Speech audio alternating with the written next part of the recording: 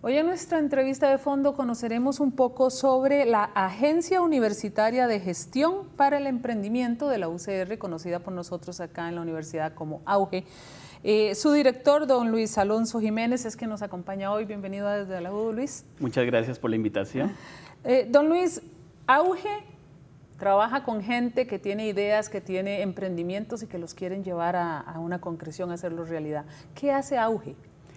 Bueno, nosotros apoyamos a emprendedores por oportunidad, aquellos que quieren aprovechar algo nuevo, un nuevo conocimiento, una oportunidad en algún mercado en particular o una situación en particular y les, les incubamos.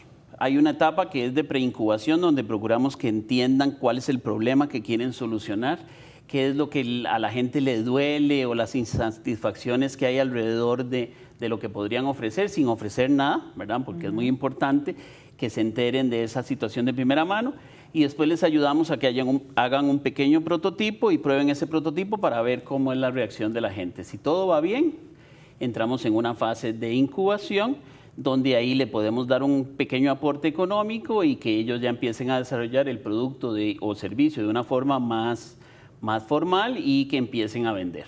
En nuestro entorno hay que vender rápido porque si no, no hay posibilidades de sobrevivir. ¿Qué tipo de ideas, de emprendimientos ustedes los encaminan? Porque bueno, ideas, a muchos se nos puede ocurrir en determinado momento, tengo esta idea y eso va a ser un negocio, un exitazo, como dice uno, y resulta que al llegar a la realidad, resulta que la idea no era tan factible de llevar a, una realidad. Buscamos problemas importantes a ser resueltos, necesidades grandes de un grupo de personas entre más necesitada esté la gente, entre más insatisfecha esté la gente con la propuesta actual de solución, más probabilidades va a tener el emprendedor de tener éxito. Entonces buscamos, buscamos eso. Por eso buscamos también novedad. Queremos que este, los emprendimientos ofrezcan una nueva forma de resolver ese, ese problema.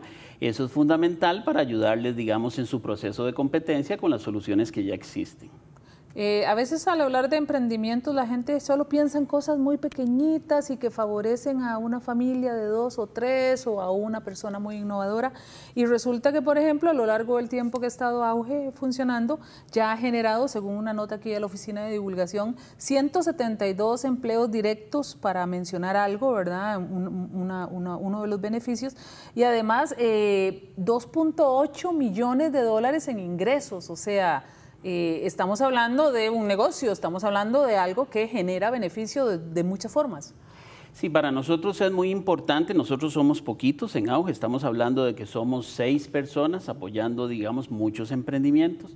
Entonces nos concentramos en apoyar aquellos emprendimientos que tienen un hambre de crecimiento este, que va acorde con la novedad de su propuesta.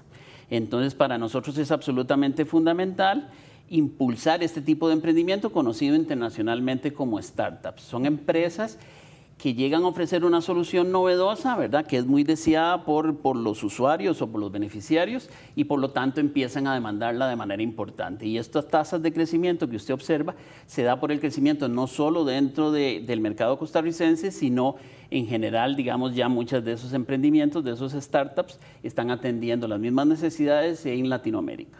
Eh, para terminar, don Luis, tenemos emprendimientos como aquellos que abarcan el área de la salud, otros como la que leí aquí, por ejemplo, que tienen que ver con cómo pagar usted los parquímetros desde su celular. O sea, en la, variedad, en la variedad está el gusto, dice el dicho. O sea, la variedad de temas es posible. Sí, es muy importante y como somos UCR, ¿verdad? Necesariamente tenemos que abocarnos a todas las áreas del conocimiento y muchas veces esa interrelación tanto entre emprendimientos de carácter más social como emprendimientos de carácter más tecnológico, emprendimientos de carácter más económico, esa interacción es fundamental y esa polinización cruzada es crítica para el desarrollo en general del ecosistema de emprendimiento.